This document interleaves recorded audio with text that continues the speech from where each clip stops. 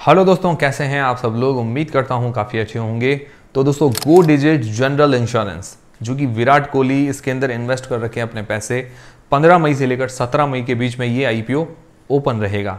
तो इस वीडियो के अंदर हम पूरा रिव्यू करेंगे इस आईपीओ का और जानेंगे कि क्या इस आईपीओ में अप्लाई करना चाहिए या नहीं करना चाहिए। और करें तो लिस्टिंग गेंस के हिसाब से या लॉन्ग टर्म के हिसाब से। सबसे पहले इसका ग्रे मार्केट का प्रीमियम देखेंगे। इससे हमें लिस्टिंग गेंस का अंदाज़ा हो पाएगा। फिर इस कंपनी की डिटेल्स के बारे में जानेंगे। मतलब ये कंपनी क्या काम करती है, कौन से सेक्टर की कंपनी है फ्यूचर कैसा रह सकता है। फिर इसके फाइनेंशियल्स और फंडामेंटल्स के बारे में जानेंगे। मतलब कंपनी प्रॉफिट मेकिंग है या लॉस मेकिंग कंपनी है और अपने जो भी कंपिटिटर्स हैं, उनसे महँगी है या सस्ती है। फिर इस आईपीओ की डिटेल्स के बारे में जानेंगे और अंत में हम जानेंगे कि क्या इस आईपीओ में हमें अप्लाई करना चाहिए या नहीं करना चाहिए। और करें तो लिस्टिंग गेंस के हिसाब से करें या लॉन्ग टर्म के हिसाब से। सारी चीज़ें हम क्लियर करेंगे इस वीडियो के अंदर। वीडियो शुरू करने से पहले दोस्तों टेलीग्राम इंस्टाग्राम और फ्री में डीमेट अकाउंट सबकी लिंक डिस्क्रिप्शन के अंदर आपको मिल जाएगी। सबसे पहले जीएमपी ग्रे मार्केट का प्रीमियम और जीएमपी देखिए दोस्तों, अंदाज़ा है, इसको अंदाज़ा मानकर ही चले। तो इसकी जीएमपी अभी साठ रुपए पर शेयर चल रही है, पचपन शेयर्स का ये लॉट है। तो करीबन तैतीस सौ, तीन हज़ार तीन सौ रुपए जैसा हमें एक लॉट पर आज की तारीख में फ़ायदा देखने को मिल रहा है। Percentage wise twenty two percent जैसी जीएमपी बता रही है। मतलब ऐसी डिमांड है। ये एक अंदाज़ा ही है, ठीक है? और इसके भरोसे ना रहें। और एंकर लिस्ट अभी आना बाकी इसीलिए हमें एंकर लिस्ट का वेट करना चाहिए। बाकी बड़े इन्वेस्टर्स के अंदर की बात करें तो विराट कोहली इसके अंदर इन्वेस्टर है एज ए इन्वेस्टर है, ठीक है? इस कारण ये कंपनी ज़्यादा चर्चा के अंदर है।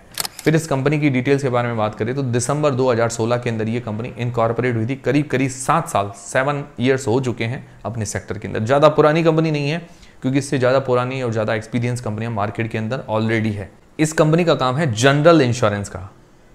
जनरल इंश्योरेंस जो होते हैं मतलब एक तो लाइफ इंश्योरेंस होता है, जो हमारी जीवन का, जीवन बीमा जिसको बोलते हैं, ये जनरल इंश्योरेंस जनरल बीमा जो होता है, जिसके अंदर मोटर मोटर इंश्योरेंस जैसे कार है बाइक है, इनका इंश्योरेंस होता है। हेल्थ इंश्योरेंस है ट्रैवल इंश्योरेंस है प्रॉपर्टी इंश्योरेंस है मरीन इंश्योरेंस है। मतलब जो एसेट्स होते हैं एसेट्स हमारे पास कुछ चीज़ें होती है उनका ये इंश्योरेंस करती है, इसको जनरल इंश्योरेंस बोलते हैं। लाइफ इंश्योरेंस अलग होती है। उसके अंदर एलआईसी लीडिंग कंपनी है लाइफ इंश्योरेंस के अंदर। ये चीज़ आप ध्यान में रखिएगा।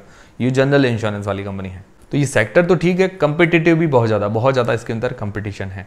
अब अगर मार्केट शेयर की बात करें तो जनरल इंश्योरेंस जो भी कंपनीज़ होती है, उसके अंदर प्राइवेट सेक्टर की जो कंपनी है, उनका जो हिस्सेदारी है फिफ्टी थ्री परसेंट की। मतलब तिरपन परसेंट की हिस्सेदारी प्राइवेट कंपनीज़ की है। जिसके अंदर प्राइवेट कंपनीज़ के अंदर अगर कहें तो New India New India insurance उसका तेरह परसेंट की हिस्सेदारी है मतलब मार्केट शेयर है। आईसीआईसीआई लोमबार्ड वो है 8.67 परसेंट, आठ परसेंट की हिस्सेदारी उसके उसका मार्केट शेयर है। फिर बजाज अलियांस का 7.69 परसेंट, सात पॉइंट उनसत्तर परसेंट बजाज अलियांस की हिस्सेदारी है। फिर दोस्तों, अगर गो डिजिट की बात करें तो लगभग डेढ़ से दो परसेंट की हिस्सेदारी है गो डिजिट की जनरल इंश्योरेंस के अंदर।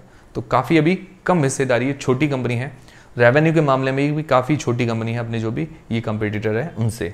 टोटल इसके पास 74 प्रोडक्ट्स हैं। मतलब ये जो इंश्योरेंस प्रोडक्ट्स हैं टेन सेवेंटी फोर है। और ये सेक्टर अगर बात करें तो कम्पिटिटिव सेक्टर है। बहुत ज़्यादा कंपनीज़ लिस्टेड भी अनलिस्टेड कंपनीज़ भी खूब है और उसके अंदर कंपटीशन खूब ज़्यादा है। और ये अपने सेक्टर के अंदर छोटी कंपनी है। अभी शुरुआती फ़ेज़ के अंदर है मार्केट शेयर इसका छोटा है। तो अभी ये थोड़ा सा इसके लिए नेगेटिव पॉइंट है कि ये थोड़ी सी पीछे है। बाकी कंपनी ऐसी अच्छी अच्छी कंपनीज़ ऑलरेडी अच्छी लिस्टेड है। फिर फाइनेंशियल्स और फंडामेंटल्स के बारे में जाने मतलब 2021 से 2023 तक दिए गए हैं। तो अगर इसके एसेट्स देखते हैं तो साल दर साल उसमें ग्रोथ देखने को मिल रही है, लगभग डबल हुए हैं। रेवेन्यू की बात करें तो इतने साल नेगेटिव रेवेन्यू था। F Y twenty two F Y twenty three के अंदर इसका रेवेन्यू भी पॉजिटिव हुआ है। तो एफ़ आई ट्वेंटी थ्री के अंदर जो इसका रेवेन्यू है करीब करीब उनचालीस crore thirty nine crore rupees का, बहुत कम है। और अभी दिसंबर तक 2023 तक 9 महीनों के अंदर 130 करोड़ के आसपास इसने रेवेन्यू जनरेट किया है। अभी एक साल के अंदर अच्छी ग्रोथ देखने को मिली है। प्रॉफिट की बात करें तो प्रॉफिट लगातार ये लॉस मेकिंग कंपनी थी। एफ़ वाई ट्वेंटी थ्री के अंदर प्रॉफिट के अंदर ये लगभग पैंतीस करोड़ के आसपास का प्रॉफिट है। मतलब प्रॉफिट मार्जिन लगभग नब्बे परसेंट के आसपास नाइन्टी परसेंट के आसपास निकल कर आ रहे हैं। ये मुझे थोड़ा सा अचरज वाला लगा। और दिसंबर, नौ महीने तक एक सौ उनतीस करोड़ का प्रॉफिट है। यहाँ पे भी प्रॉफिट मार्जिन नब्बे मतलब लगभग सौ परसेंट के आसपास है। मतलब कोई भी खर्चा नहीं है। ये पता नहीं, मुझे थोड़ा समझ में नहीं आया। बाकी इसकी नेट वर्थ बड़ी है। रिजर्व्स इसके हाथ में दो हज़ार तीन सौ इक्यानवे करोड़ रुपए के हैं। उधारी है दो सौ करोड़ रुपए की। उधारी ज़्यादा है। फिर दोस्तों, इसके पीयर कंपेटिटर से इसको कंपेयर करते हैं। इसका जो P price to earnings ratio छः का निकल कर आता है। बहुत ज़्यादा है और छः का पी इसीलिए क्योंकि इसका प्रॉफिट अभी बहुत कम है। छोटी कंपनी है। आगे अगर ग्रोथ करेगी, उसके बाद क्या है कि एक्चुअल वैल्यूएशन हमें पता चलेगी। पर अभी के हिसाब से बहुत महँगा पी है। और रेवेन्यू इसने 2023 में जनरेट किया उनचालीस करोड़ रुपए का। अगर इसके पियर कंपिटिटर से इसको कंपेयर करें तो उनका पी अड़तीस से लेकर 53 मतलब तिरपन चौपन के आसपास निकल कर आता है। अड़तीस थर्टी से लेकर 54 तक आप मान सकते हैं। और इसका छह का तो बहुत महँगी वैल्यूएशन है। और न्यू इंडिया का रेवेन्यू इकतालीस हज़ार करोड़ रुपए forty one thousand crore rupees Star Health का चौदह हज़ार करोड़ रुपए का रेवेन्यू है। आईसीआईसीआई लंबार्ड का बीस हज़ार करोड़ रुपए का रेवेन्यू तो उनसे काफ़ी छोटी कंपनी है। तो वैल्यूएशन बहुत महँगी है। रिटर्न ऑन नेटवर्थ पाँच पॉइंट पच्चीस परसेंट की है। बहुत कम है। तो ओवरऑल फाइनेंशियली और फंडामेंटली देखें फाइनेंशियली भी ठीक ठाक है और फंडामेंटली वैल्यूएशन वगैरह देखें तो भी महँगी वैल्यूएशन है। फिर दोस्तों इस आईपीओ की डिटेल्स के बारे में जानते हैं। तो 15 मई से लेकर 17 मई के बीच में ये आईपीओ ओपन रहेगा। फेस वैल्यू है इसकी दस रुपए पर शेयर और उसका प्राइस बैंड है दो रुपए से लेकर दो रुपए के बीच में, पचपन मतलब 55 शेयर्स का ये लॉट है। टोटल इश्यू साइज़ है छब्बीस करोड़ रुपए का। जिस हिसाब से कंपनी उस हिसाब से इश्यू साइज़ काफ़ी बड़ा है। फ्रेश इश्यू है 1125 करोड़ रुपए के। ओएफएस के ज़रिए चौदह करोड़ रुपए की हिस्सेदारी। इसके कुछ इन्वेस्टर्स हैं या प्रमोटर्स है, वो कुछ सेल करेंगे। इसके अंदर शायद विराट कोहली सेल नहीं कर रहे हैं। रिटेल पोर्शन 10 परसेंट का है लिस्टिंग डेट है 23 मतलब 23 ऑफ़ मे को ये शेयर मार्केट के अंदर लिस्ट हो जाएगा। तो ये हो गई पूरे आईपीओ की डिटेल्स अब सबसे मेन सवाल ये आता है कि क्या इस आईपीओ में अप्लाई करें या नहीं करें? और करें तो लिस्टिंग गेंस के हिसाब से करें या लॉन्ग टर्म के हिसाब से? उससे पहले आपके पास है, आपके फैमिली मेंबर्स में किसी के पास भी डीमेट अकाउंट नहीं है या खुलवाना चाहते हैं तो उसकी लिंक डिस्क्रिप्शन के अंदर आपको मिल जाएगी। अब सबसे पहले लिस्टिंग गेंस के हिसाब से तो अभी 22 परसेंट के आसपास चल रही है, ठीक है। पर अभी हमें एंकर लिस्ट का वेट करना चाहिए। और अभी बड़े बड़े नाम भले ही इसके अंदर शामिल हो तो बड़े नाम पर अभी हमें नहीं जाना है। एंकर लिस्ट का वेट करना चाहिए। फिर क्या है कि लॉन्ग टर्म के हिसाब से। लॉन्ग टर्म के हिसाब से पॉजिटिव्स नेगेटिव्स देखें तो पॉजिटिव मुझे विशेष तो कुछ नज़र नहीं आए। हाँ पॉजिटिव्स के अंदर, इसके अंदर इन्वेस्टर्स लिस्ट में के अंदर विराट कोहली का नाम है, ये थोड़ा पॉजिटिव नज़र आया, पर उस नाम पे तो हमें नहीं जाना चाहिए। बाकी सारी चीज़ें देखें तो नेगेटिव्स ज़्यादा है। पहला सेक्टर देखें सेक्टर बढ़िया है, पर इसके अंदर कंपटीशन उतना ही ज़्यादा है।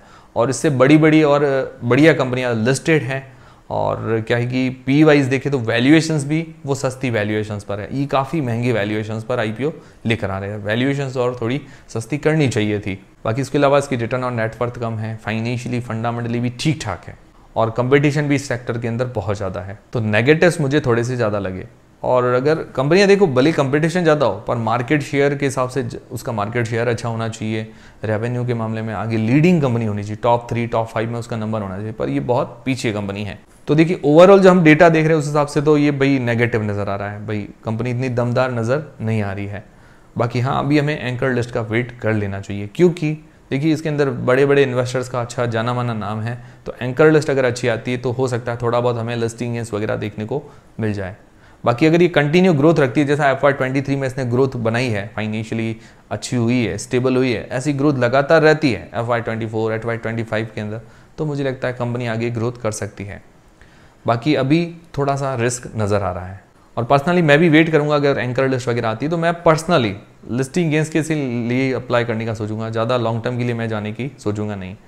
और पर्सनली मेरी तरफ़ से अप्लाई करने और नहीं करने का डिसीज़न नहीं है। आप लोग क्या करेंगे? इस आई में अप्लाई करेंगे, नहीं करेंगे? मुझे कमेंट करके ज़रूर बताइएगा। तो ये थे सारे आज के अपडेट्स और हेल्प हुई आपकी तो वीडियो को एक लाइक ज़रूर करें। तो उम्मीद करता हूँ हमारा वीडियो हमारी जानकारी आपको काफ़ी पसंद आई होगी हेल्पफुल रही होगी। हेल्पफुल रही है तो वीडियो को लाइक ज़रूर करें। चैनल को सब्सक्राइब कर लें। मिलते हैं दोस्तों अगले वीडियो के अंदर।